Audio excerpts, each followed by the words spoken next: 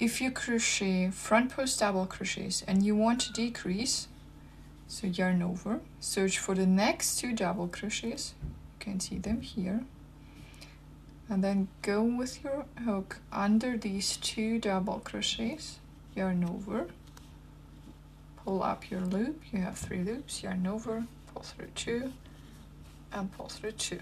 and this is your decrease and you continue afterwards your nor whoops your normal front post double crochets